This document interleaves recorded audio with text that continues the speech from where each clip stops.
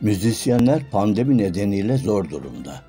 Eğlence yerlerinin kapalı kalmasından müzisyenler de olumsuz etkileniyor. Baba ben çok üzülüyorum ya. Evlat, müzisyenlerden sana ne? Üzme kendini.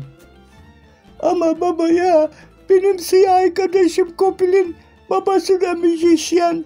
Hiç payalayı kalmamış, ona üzülüyorum baba ya. Seni üzeni üzerim.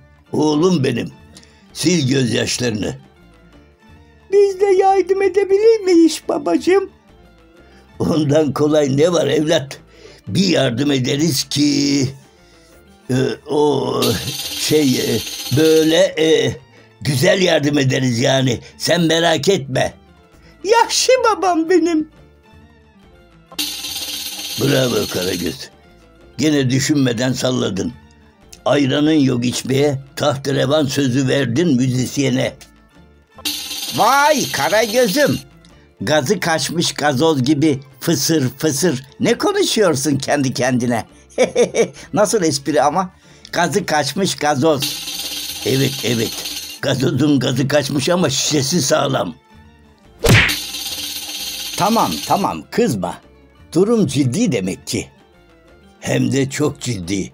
Çalgıcı bariye yardım edeceğim diye oğlana söz verdim. Gel gelelim nasıl yaparım bilmiyorum. Ne olacak canım? Atla deve değil ya. Aramızda 3-5 kuruş toplar veririz. Hacı Cavcav sadaka mı veriyoruz insanlara? Çoluğu çocuğu var 3-5 kuruş olmaz. Yardım ediyorsak adam gibi edelim. Ne bileyim kara yardım kampanyası deyince aklıma o kadarı geldi. Ee, kampanya mı? E tabii ya. Hay aklında bin yaşa acıvat ya. Bana harika bir fikir verdin. Fikirlerim de esprilerim kadar iyidir.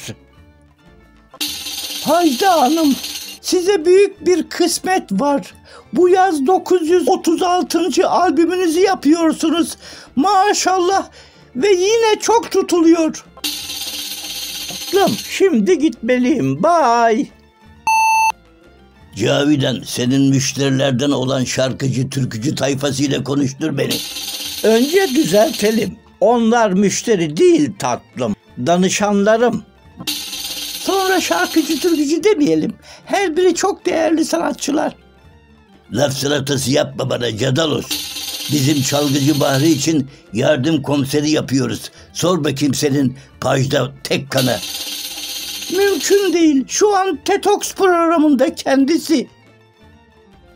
Programsız olanı yok mu bunların ya? Biberiye gelmez mi? O da roman sonuçta. Sanmam. Ama arayayım istersen sen konuş. Alo, Sayın Biberiye hanımefendi. Bizim bir çalgıcı Bahri var. Çok zor durumda. Ona yardım etmek... Ay her gün bir arar durur. Biz sanki zor durumda değiliz ba. İki sene olacak bangiz görmedi bu gözler. Hadi naş naş. Söyledim sana tontişim. Evlat, zor bir işe kalkıştık galiba. Baba bir de mangayı denesene. E, manga mı? O ne biçim isim ya? Bunların korosuna da tabur mu deniyor? Hacivatla düşe kalka esprilerini kaptık. Neyse, var mı numarası Cadalos? Var var. Bir kere aradı ama gelmediler. Benim de görüşmek yürek ister tabii. Cadalos kafanda manga manga gezen bir tepireye bakmayıp el alemin mangasına laf ediyorsun ya.